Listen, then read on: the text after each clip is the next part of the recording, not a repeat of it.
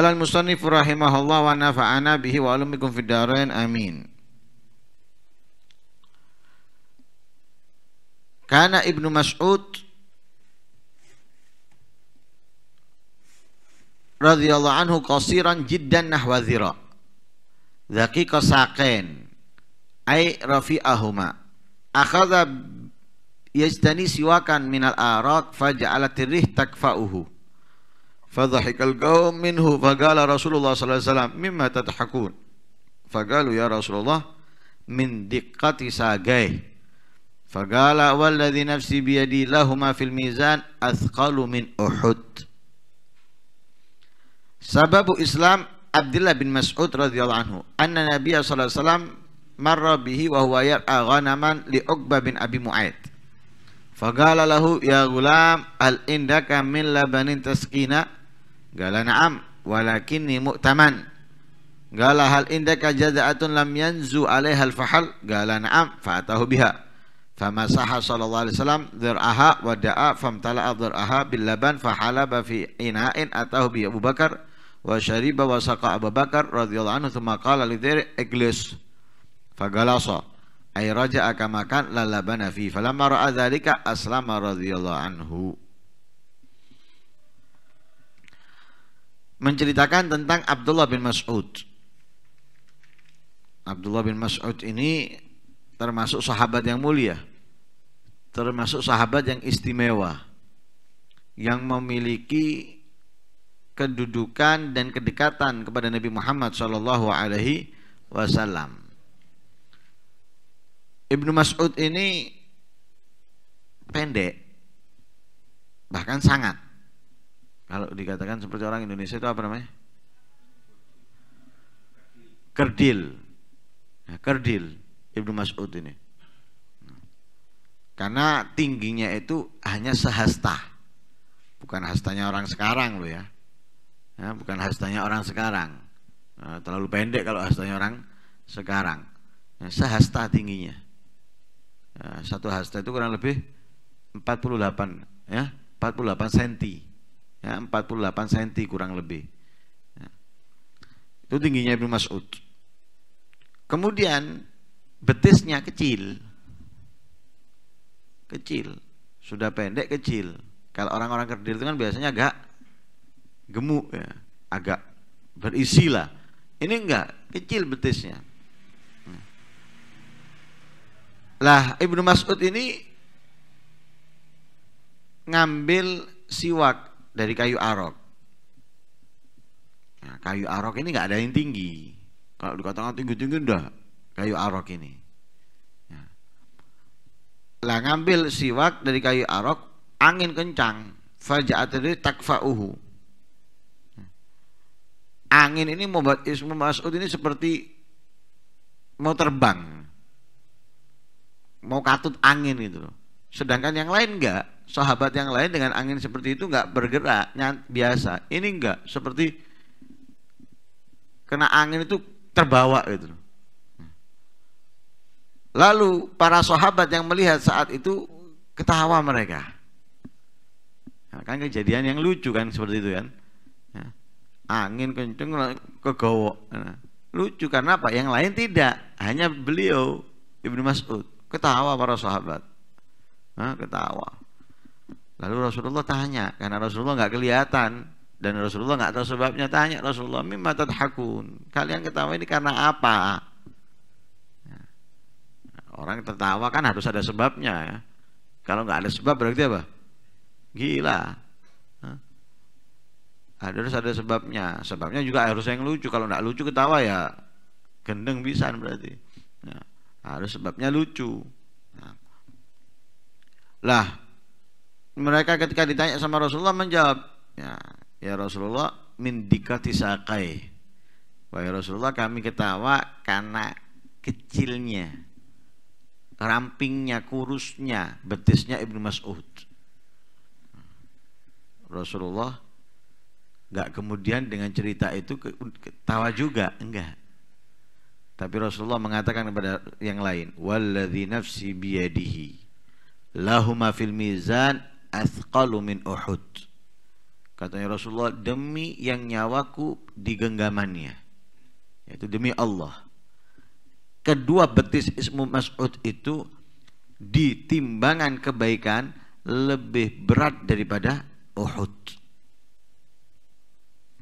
Kalau di dunia mungkin nggak berarti sak wong-wongnya ditimbang si abotan Uhud. Jangankan Ibnu Mas'ud. Ya. Yang gemuk itu ya, ditimbang masih Gunung Uhud lebih berat.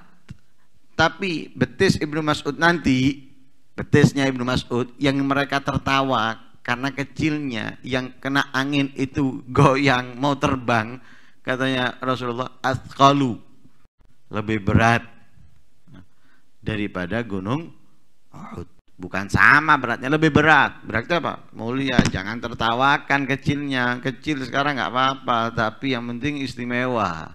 Hmm? makanya jangan ngeremehkan kecilnya cabe. Karena itu sangat pedas. Jangan remehkan cilik panganan disi ya. kepedesan baru. Iya iya. Iya iya. Nah ini ngeremehkan pedesnya cabai sama jangan ngeremehkan orang walaupun dia pendek tapi lihat kedudukannya di sisi Allah Subhanahu wa taala. Lah Ibnu Mas'ud ini tadinya bukan Islam sebagaimana beberapa sahabat yang lainnya. Lah, beliau masuk Islam karena pernah pada suatu ketika Nabi Shallallahu alaihi wasallam ngelewat ngelewat kebetulan ada tempat di kembalanya kambing lah yang menjaga Ibnu Mas'ud. Nabi keluar dari kota Mekah, tidak mendapatkan makanan, tidak punya minuman, ke, ke, apa ketepatan melalui kandang kambing. Yang mengembala, yang menjaga, yang merawat adalah Ibnu Mas'ud, miliknya Uqbah bin Abi Mu'aid. Kambing-kambing itu miliknya Uqbah bin Abi Mu'aid. Lah Ibnu Mas'ud ini pegawainya menjaga, merawat dan memerhatikan kambing-kambing itu.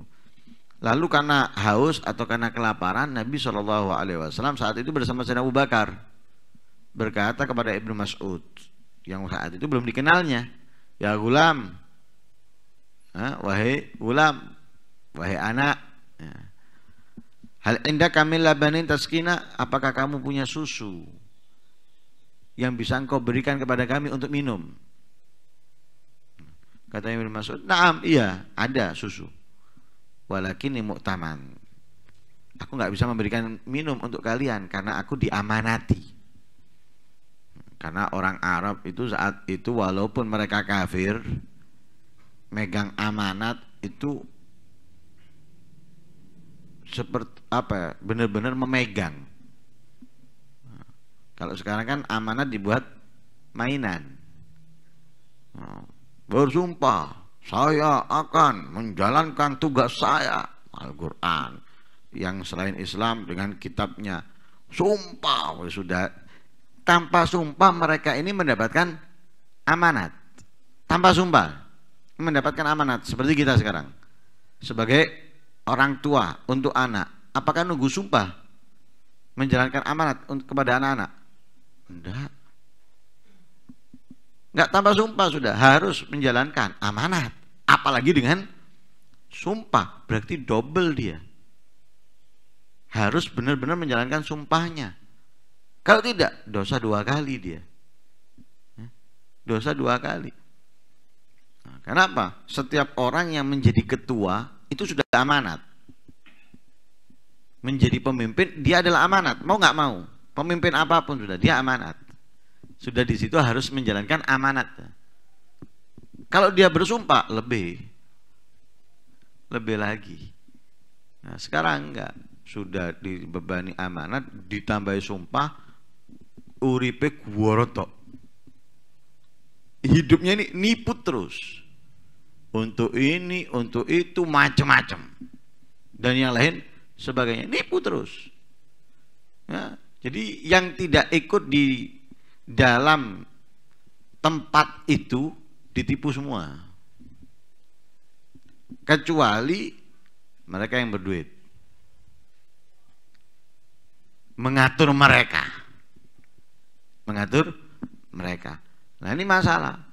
Nah sampai kapan pun nggak mungkin enak hidup kita karena ditipu terus. Dan kita nggak bisa menentang. Karena apa? Kita menentang dianggap melanggar.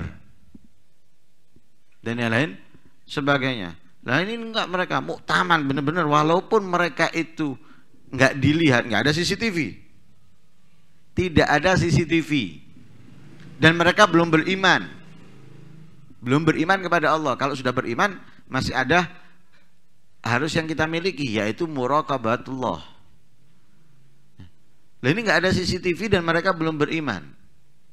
Dan juga nggak ada totalan itu nggak ada sudah. Pembukuan nggak ada.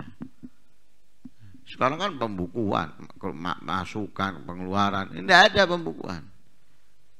Tapi katanya Ibnu Mas'ud ada susu tapi aku muktaman aku ini diamanati. Nah, seakan-akan kasarannya apa alusnya itu maaf aku tidak bisa memberikan kepadamu karena bukan punyaku. Akhirnya Nabi kembali bertanya kepada Ibnu Mas'ud, "Hal indaka jada'atun lam yanzu alaihal fahal?" Apakah kamu punya kambing betina yang belum kawin? Yang belum kawin atau belum punya anak? Punya enggak kamu?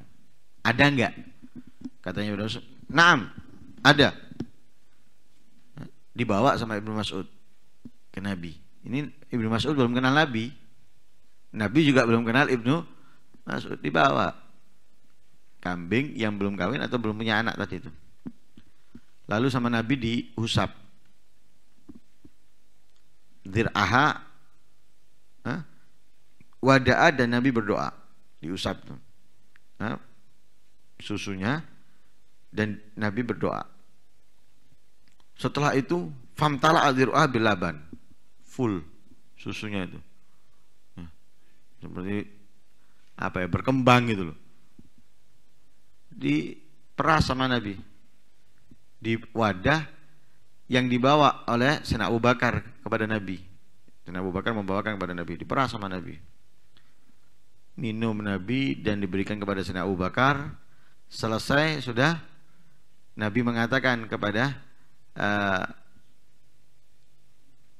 kambing itu atau susunya itu aglis. Tutup fagalaso nutup. Jadi kosong kembali. Jadi seperti semula seperti tadi sebelum sebelum didoakan Nabi. Nah, kalau belum punya anak atau belum kawin kan belum keluar susunya. Seperti perempuan kan gitu. Kalau belum menik apa belum punya anak nggak bisa mengeluarkan susu. Nah, kalaupun sudah punya anak ada waktunya terbatas.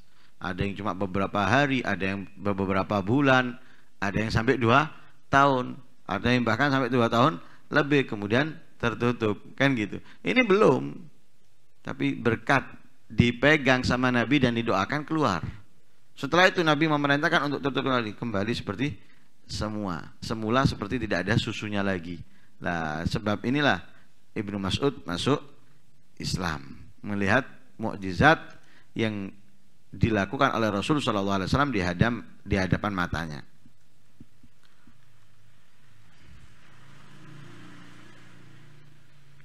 Qala Zamakhsyari fi Rabi'il Abrar Inna sahabata lama atul Madinah bisabbi Faris fi khilafati Umar radhiyallahu anhu kana fihim thalathu banat liyasdajar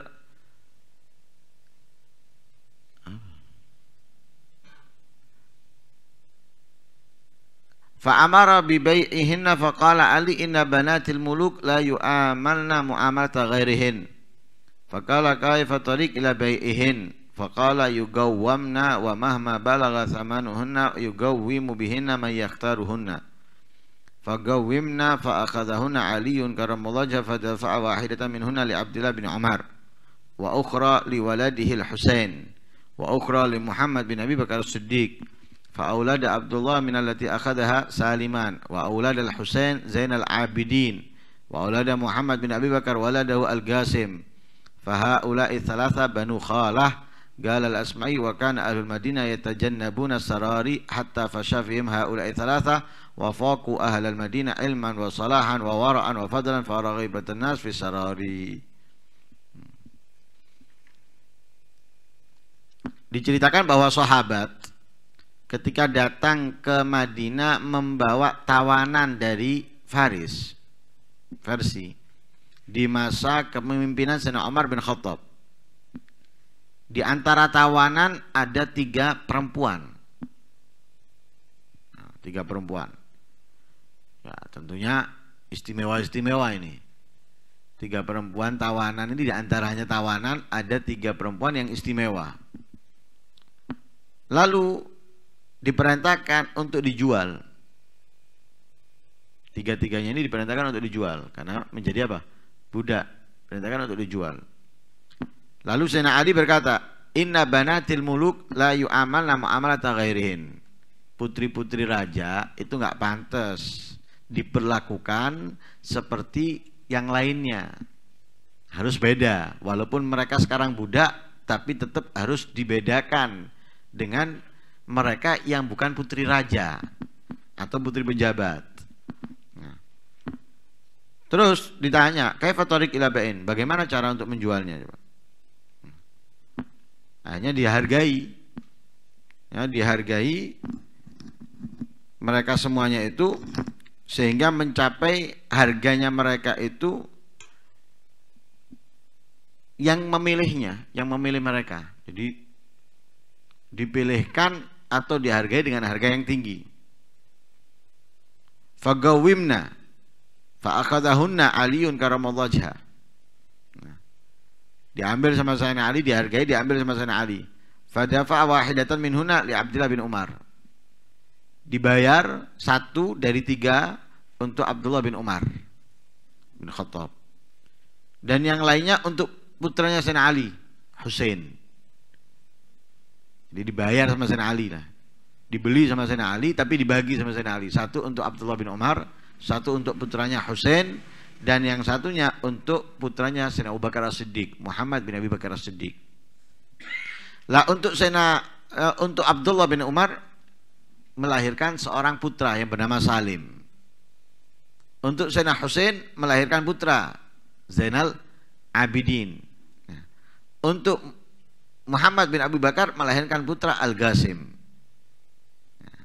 Jadi mereka tadi itu menjadi Banu Khalah ya Banu Khala. Dikatakan oleh Imam Asma'i, penduduk Madinah dulunya mereka itu menghindar daripada budak-budak. Artinya nggak mau memiliki anak dari budak, menghindar mereka. Tapi ketika tersebar tentang mereka ini, Sayyid Abdullah bin Umar, kemudian Hussein bin Ali dan apa? Muhammad bin Abu Bakar. Putra-putranya mereka menjadi orang hebat. Ilmunya kesolihannya waroknya kemuliaannya.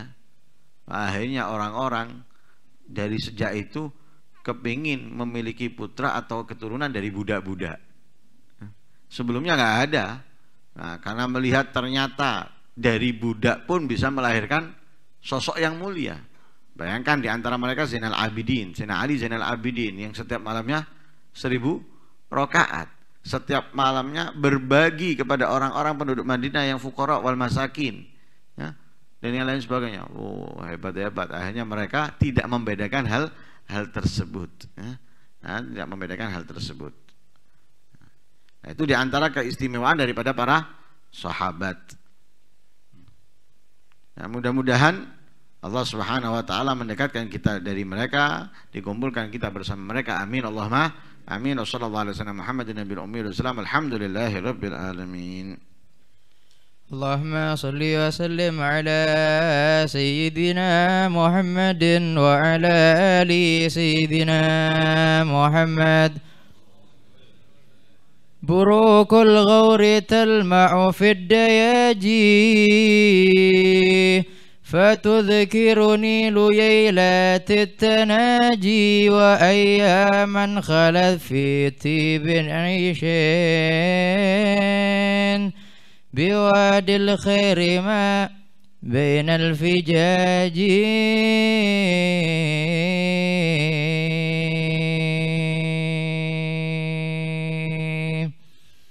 وأصحابا وأحبابا كراما من البيت المشرف بالسراج وغيد طاهرات زاهرات بأسمار تصان عن اللجاج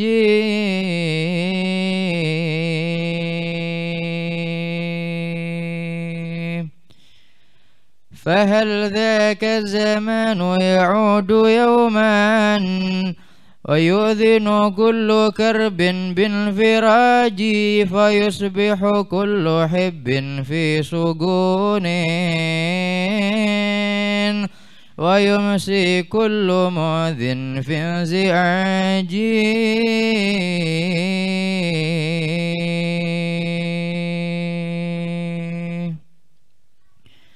بلطف الله كشاف البلايا.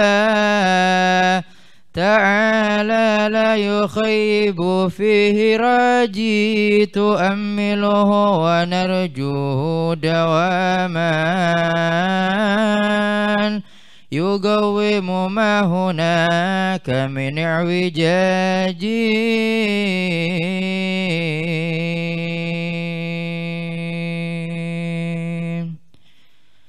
ويشملنا بعافية وعفو فندحي في سرور وابتهاج ببركة أحمد خير البرايا.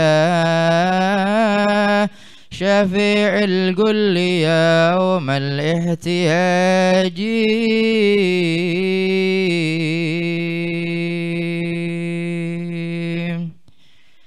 ببركة أحمد خير البرايا شفيع الكل يوم الاحتياج عليه الله صلى كل حين. وسلم ما لجا لله لاجي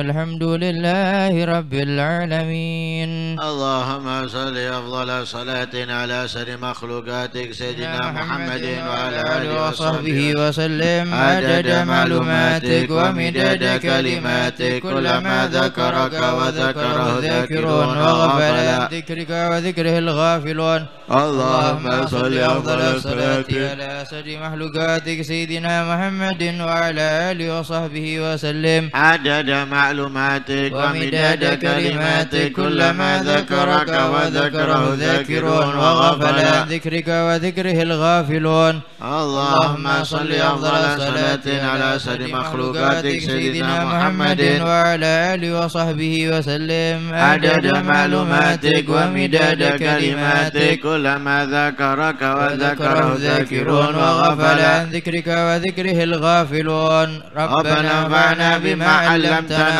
رب علمنا الذي ينفعنا. رب فقهنا وفقه أهلنا وقرابة لنا في ديننا. مع أهل كتر أنثى وذكر. رب وفقنا ووفقهم لما ترتضي قولا وفعلا كرما. وارزق الكل حلالا دائما. وأخل أتقياء علماء. نحظى بالخير ونكفى كل شر. ربنا واصلح لنا كل شؤون. وأكر بالرضا منك العيون. واقضي عنا ربنا كل الديون قبل أن تأتينا رسل المنون واغفر واستر أنت أكرم من ستر وصلاة الله تغشى المصطفى من إلى الحق دعانا والوفاء بكتاب فيه للناس الشفاء وعلى الآل الكرام الشرفاء وعلى صحب المصابيح الغرر اللهم اهدنا بهداك واجعلنا ممن يسار في رضاك ولا تولنا وليا سواك ولا تجعل واجعلنا ممن خالف أمرك وأصاب وحسبنا الله ونعم الوكيل. ولا حول ولا قوة إلا بالله العلي العظيم. اللهم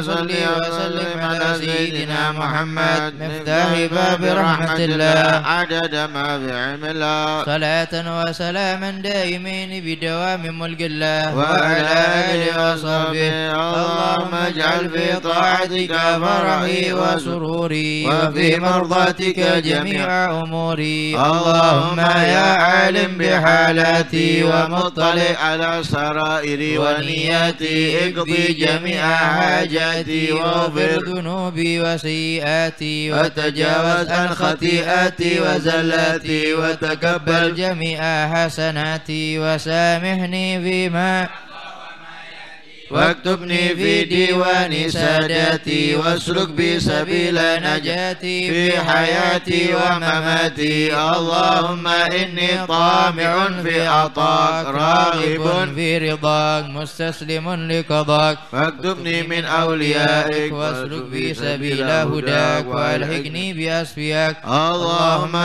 صلني بمن يوصلني إليك واجمعني بمن يجمعني عليك ويسر لي من الأعمال الصالحة ما يجب لي زلفى لديك صلى الله على سيدنا محمد وسلم. الفاتحة القبول والإقبال الصلاح كل حال. إلى حضرة سيدنا رسول الله محمد بن عبد الله وآبائي وإخواني من الأنبياء والمرسلين صلوات الله وسلامه عليهم أجمعين.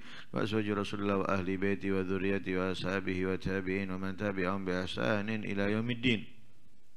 والأرواح جميع الأولياء والصالحين والشهداء والمقربين والعلماء العاملين والفقهاء والمحدثين والمفسرين وأئمة المجتهدين ومقلديهم.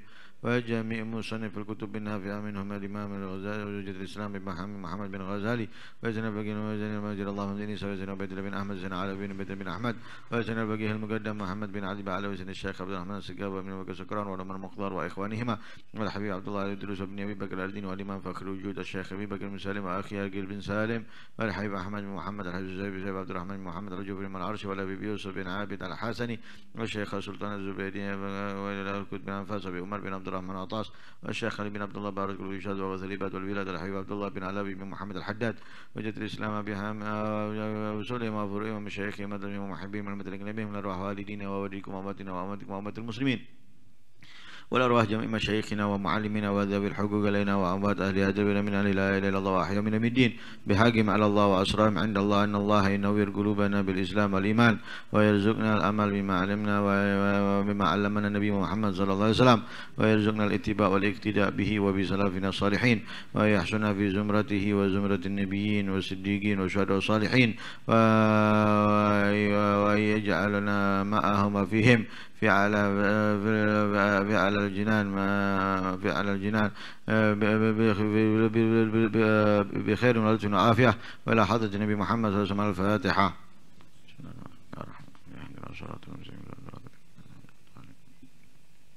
بسم الله الرحمن الرحيم. الحمد لله رب العالمين. اللهم صل وسلم على سيدنا محمد وعلى سيدنا محمد.